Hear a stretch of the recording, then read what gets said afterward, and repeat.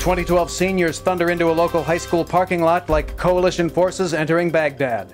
A substitute teacher just needs to make it to her car before breaking down in tears. And a college freshman tells his roommate there's no need to hide his masturbation from him. And now a week in review that truly requires no introduction.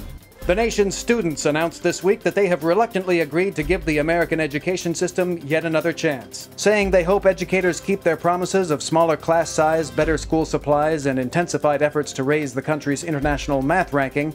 The nation's students vowed to give the education system one more shot, despite claiming to have been burned many, many times in the past. The FBI has successfully executed a raid on the Visa Corporation, exposing what could be the largest credit card scam in U.S. history. According to authorities, the Visa syndicate for years fooled millions of Americans by issuing convincing looking credit cards carefully designed to dupe consumers into spending far more money than they had. Investigators believe the fraudulent corporation also lured victims in with enticing rewards programs and free gifts, thereby trapping them in a spiral of debt they could never hope to repay. According to the results of a groundbreaking new study, 96% of humans would rather be a singing, dancing animatronic bear. The study finds that a great majority of people on the planet would prefer to trade in their regular lives for one in which they sat on a plastic log, strummed a banjo, and sang songs on a stage with all their goofy bear friends.